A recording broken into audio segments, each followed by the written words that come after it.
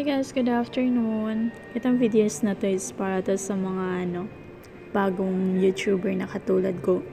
At saka sa ano, kung paano i-hide yung subscribers natin guys sa YouTube. So, ito tayo, punta tayo sa application, Chrome.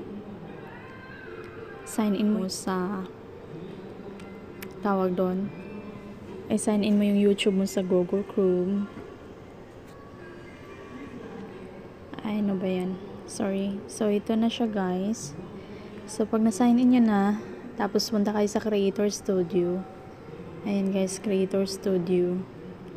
Punta tayo dito sa channel. Click Advance. Ayan. Punta tayo dito sa Subscribers Count. Counts. So, kung gusto nyo i-display nyo yung ano nyo, subscribers nyo, punta kayo sa display the number of people i-click nyo lang to guys. Pag ayan nyo, pag i-hide nyo i-hide yung subscribers nyo. So dito mo lang i-click yung do not display the number of people subscribe to my channel. After that i-save mo siya. Tak pagka-save mo na ayun na. Ayun. So punta tayo dun sa dun sa ano sa application ko sa YouTube. So ito na siya guys punta tayo dito. Ayan your channel.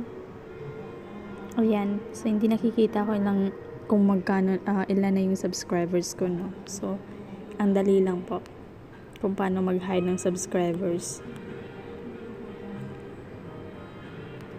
Ayan. Yan lang po guys. Sana po may natutunan kayo sa sa videos na to. Bye bye magandang hapon